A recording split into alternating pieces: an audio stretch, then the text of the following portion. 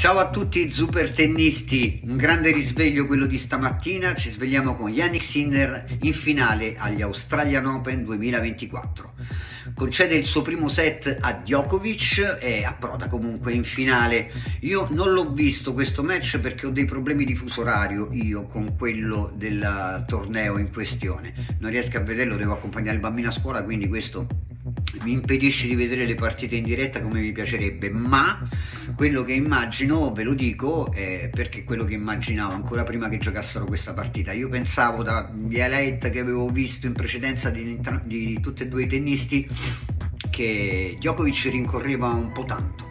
L'ho visto non affaticato, è sempre Novak Djokovic, non non fraintendetemi, ma il confronto con i ventenni si comincia a vedere eh, ha dovuto combattere di più eh, in tutte le partite che ha fatto, mentre Yannick Sinner eh, approda in finale concedendo solo un set proprio a Novak Djokovic. E io era questo che immaginavo, mm, io pensavo al massimo gli concede un set ma lo batte. E così è stato.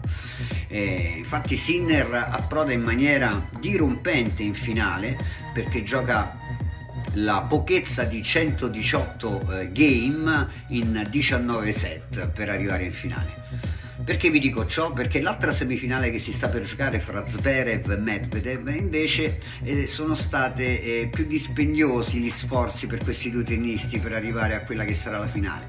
Infatti Zverev ha giocato 134 game e Medvedev 128, entrambi hanno speso 21 set, ma devono ancora giocare la semifinale, quindi chi approderà in finale sicuramente avrà un bel po' più di fatica nelle gambe e questo va tutto a vantaggio del nostro Yannick Sinner che eh, si presenta in questa stagione in maniera dirompente come ho detto prima diciamo devastante perché in un torneo del genere il primo, dello, il primo slam concedere un solo set per arrivare in finale direi che mette le sue carte in tavola.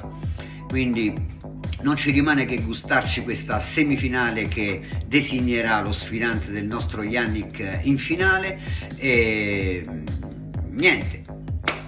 Viva il tennis e ci sentiamo nelle prossime ore per commentare questi Australian Open e soprattutto il nostro tennista Yannick Sinner. Vai carotina! Vai! Vai che sei forte! Vai